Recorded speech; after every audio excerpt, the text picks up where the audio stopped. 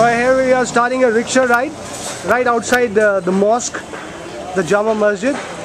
He's our rider for today and here you can see Patrick. So just enjoy the ride and I'm sure you'll have some memories, good memories from here. Chalo. Any of these shop owners is in fact, my, mark my words, a multi-millionaire in dollar terms. All of these shopkeeper owners. They have been owning these shops for hundreds of years from the time the Mughals set up this little town. Today they are wholesalers. They might be selling brassware or uh, fireworks or uh, packing material or silverware but they are all wholesalers. They sell it in bulk. And look at the kids going back home in that rickshaw. About 20 kids in that with their bags on top.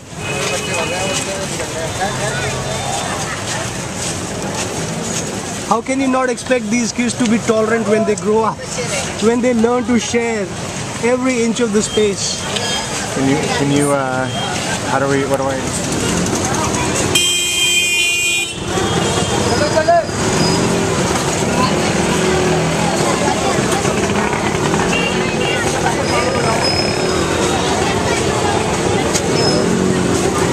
One thing you'll observe is everybody seems happy. They give you a smile.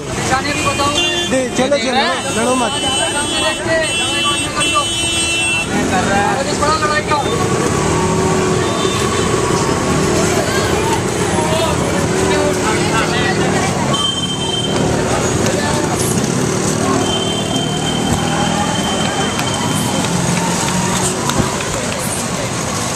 So we are getting into a part of the city where you will see street selling just silverware.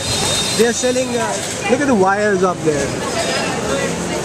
Because this area was never meant for electrification. It happened much later. Electricity arrived here in early 20th century, 1900s, 1910, 1915. Before that, it was just candlelights and lamps, oil lamps part of the city dating back to the 17th century. This girl is still with me. She'll give up. She'll probably catch up with us in the busier part of the city. they seem like a Christmas market with the Christmas decorations hanging, floral patterns and other colorful decorations. भाग जाए यहाँ से अब नहीं मिलेगा कुछ भाग जाए यहाँ से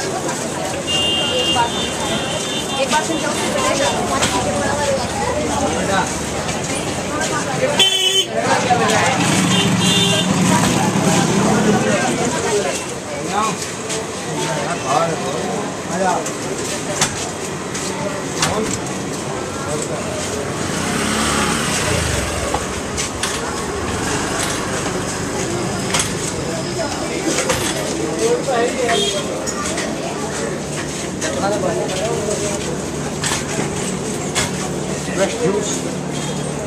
He's selling buttermilk. Selling uh, lunch, bread.